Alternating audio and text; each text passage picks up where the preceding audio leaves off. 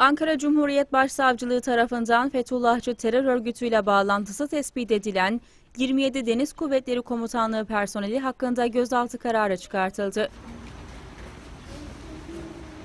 Başsavcılıktan yapılan açıklamada şüphelilerin örgütün mahrem imamlarıyla kontörlü ve ankesörlü telefonlardan haberleştiklerinin tespit edildiği belirtildi.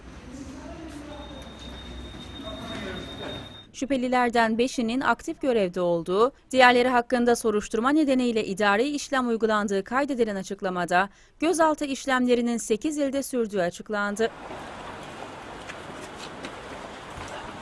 Terör örgütüyle irtibatları tespit edilenler arasında 3 albay, 1 yarbay, 8 binbaşı, 12 yüzbaşı, 1 üst teğmen ve 2 as subay bulunuyor. Hem işine çok kötü